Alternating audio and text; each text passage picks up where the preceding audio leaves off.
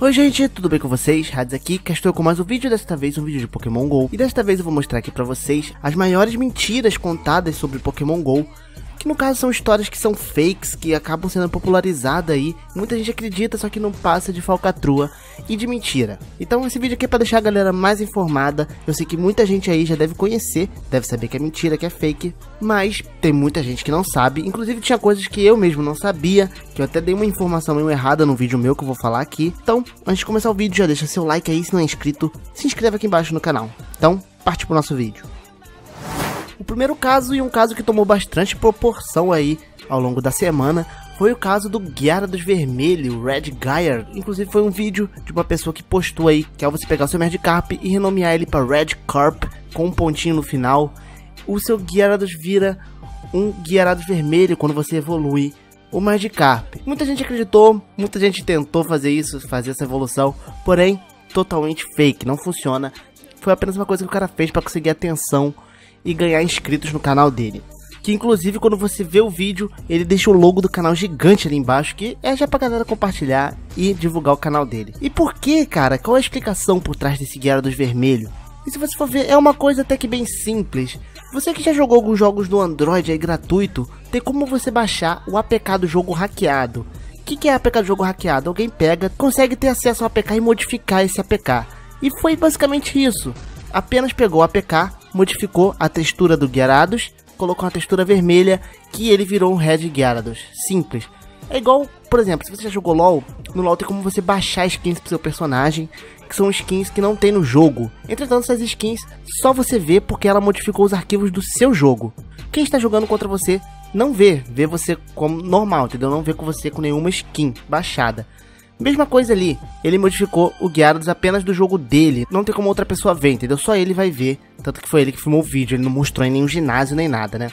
E outra coisa é que o Gyarados vermelho é um Pokémon Shine. Pokémon Shines não tem nenhum dado, já estupraram já o código fonte desse jogo. Sabem que temos Articuno, Zapdos, Monstros lá, o Mil inclusive.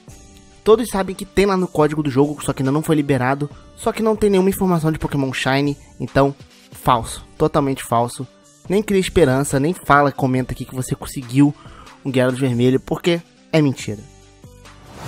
E o próximo agora aqui é um caso que até eu comentei no vídeo meu ali das teorias de Pokémon GO, que era sobre o Articuno, aquele vídeo que tem o Articuno colocado no ginásio, que inclusive o, o cara que fez a live stream, né, que mostrou o Articuno, ele falou que ganhou de presente da Niantic. Inclusive eu até falei isso no vídeo, ele tá pesquisando um pouquinho mais, isso tudo aí também não é verdade. Acontece que existe uma coisa chamada Pokémon MIMT, que é basicamente um proxy para o jogo. Para quem não sabe o que é proxy, ele basicamente vai te redirecionar para um servidor que não seja o da Niantic, que é um outro servidor criado de Pokémon GO. Inclusive, isso é bem possível de fazer. Quem conhece aí jogos privados, servidor privado de Ragnarok e de Mu, é basicamente isso, um servidor privado que você baixa os arquivos do jogo e cria seu próprio servidor. E você instala um proxyzinho eu não sei direito como que é o processo passo a passo. Posso até colocar na descrição depois, se eu achar um vídeo interessante. Que você vai ser redirecionado para o outro servidor. E nesse outro servidor você pode ter qualquer Pokémon que você quiser. Então é basicamente isso que o rapaz fez. Ele alterou ali, colocou um Articuno ali no ginásio, na live stream. Com o objetivo também de ganhar views, obviamente. E muita gente acreditou, inclusive eu achei que era um presente da Niantic. Entretanto não era, era esse o caso. Pode ser também que não seja o MIT, pode ser também ele ter mudado a textura, assim como eu falei do Gyarados ali no começo, pode ter mudado a textura. Entretanto, é mais óbvio que seja o MIT. Inclusive depois apareceu um rapaz com um Articuno, só que ele era, ele era do time Instinct e tava com Articuno. E até onde eu ouvi falar, a Niantic falou que esses Pokémon lendários serão exclusivos de cada time. Os Aptos, então, seria do Instinct e não Articuno. Então não teria como ele ter um Articuno. E a Niantic não ia sair dando presente de Articuno assim pra todo mundo, né? Então, mais uma coisa aí que a galera acredita, que inclusive eu acreditei que é fake. E o próximo caso aqui é um caso que muita gente ainda acredita até hoje e faz esse processo. É o fato de pegar Pokébolas quando você lança para capturar um Pokémon. Quando você lança a Pokébola para capturar um Pokémon, você clica nela e acha que ela volta pro seu inventário, só que não volta não, não volta que acontece é que quando você clica, a Pokébola some logo para poder você poder jogar a próxima. Assim você não perder tanto tempo. Ele tipo que cancela aquela animação da Pokébola rolando até parar e sumir. Muita gente falando que isso funciona, muitos vídeos mostrando que isso funciona. Só que não funciona, não funciona de jeito nenhum. Tem casos que falaram que no começo do jogo, assim que foi lançado o Pokémon GO, ele funcionava. Entretanto, também muita gente falou que poderia ser a contabilização do servidor ali. Ele não contabilizava direito suas Pokébolas. Então quando você clicava, parecia que você tinha ganhado mais uma. Só que só era o servidor contando errado suas Pokébolas. Entretanto, se funcionou, foi muito tempo atrás. Hoje em dia, não funciona mais. Não adianta. Já tentei 200 vezes. Não retorna. A Pokébola não retorna. É só placebo, coisa da sua imaginação.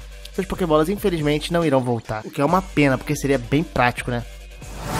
E o próximo aqui são coisas sobre incenso.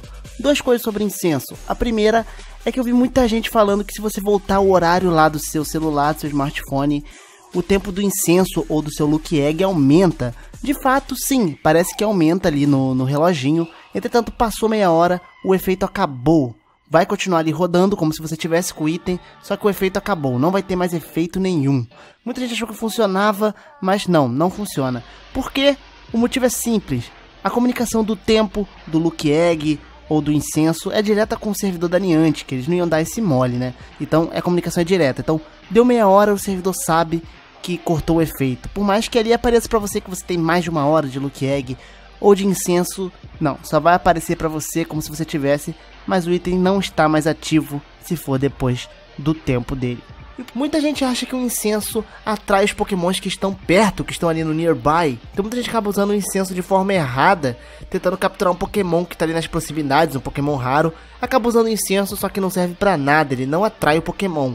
O incenso, ele faz gerar pokémons perto de você e apenas para você. Os pokémons que aparecem para você e para os outros é somente com o lure. Então se você usar o incenso vai aparecer somente para você, não vai aparecer para amiguinho nenhum que esteja perto de você, tudo bem? E o último aqui é uma forma geral, não é um vídeo específico, de promessas aí de hack, de você conseguir Master Bolas infinitas, conseguir os pokémons raros, como sempre, né? Spawnar um monte de pokémon perto de você. Você já deve ter visto milhares de vídeos desse tipo. Se não viu, uma hora você vai ver gente falando que isso funciona. Entretanto, isso não é nada mais nada menos que um servidorzinho pirata de Pokémon GO. Você pode montar o seu próprio servidor pirata se você quiser e aumentar o drop de todos os itens. Você pode colocar para aparecer não sei quantas infinitas Master Bolas, quantos pokémons, milhares de pokémons spawnando ali perto de você, Articunos, Aptomonstres. Entretanto, é um servidor pirata, só vai funcionar ali para você e para quem estiver dentro do servidor. Ele não é oficial da Niantic, então, claro que não vai funcionar no jogo original. Então dá para você criar um servidorzinho pirata para você se divertir com seus amigos se você quiser, mas não vai ser oficial. Você não vai ter esses Pokémon no servidor original da Niantic. Bem, esse daí é o vídeo, espero que vocês tenham gostado. Deixe seu gostei aí se gostou do vídeo. Se não é inscrito, se inscreva. O Facebook e o Twitter está na descrição aqui embaixo. Curte a page lá e me segue lá no Twitter, beleza? Valeu, galera. Falou. E até o nosso próximo vídeo de Pokémon GO.